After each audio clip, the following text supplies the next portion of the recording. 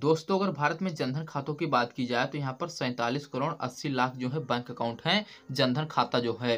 लेकिन यहाँ पर अगर डेबिट कार्ड की बात की जाए तो सिर्फ़ यहाँ पर इकतीस करोड़ चालीस लाख लोग ऐसे हैं जिनके पास डेबिट कार्ड है और यहाँ पर आपके तेरह लाख साठ हज़ार लोग ऐसे हैं जिनके पास अभी तक डेबिट कार्ड नहीं है। ये लोग अभी यूपीआई का बिल्कुल भी यूज़ नहीं कर रहे हैं।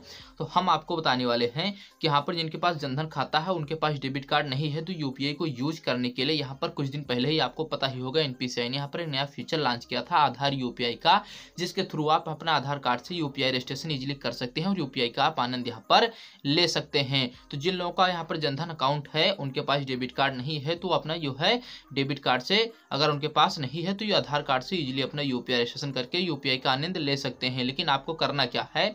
आपको इससे पहले हमने एक वीडियो बनाई है, जिसकी लिंक हमने डिस्क्रिप्शन में प्रोवाइड करा दी है। वहाँ से जाके पहले उसमें इकतीस बैंक अकाउंट है, उनकी लिस्ट आपको चेक करना है, देखना है कि उन बैंकों में आपका अकाउंट है या नहीं। अगर उन बैंकों में से आपका अकाउंट होगा तो आप इजिली अपने यहाँ पर आधार कार्ड से यूपीआई रजिस्ट्रेशन कर सकते हैं। लेकिन अगर आपका अकाउंट उन बैंकों में से नहीं है तो आपको करना क्या आपको चैनल को सब्सक्राइब करके रखना है, क्योंकि जैसे ही किसी भी नए बैंक में आधार कार्ड से यूपीआई रजिस्ट्रेशन का फीचर आता है तो उसकी चैनल पर तुरंत ही वीडियो आपको देखने को मिल जाती है।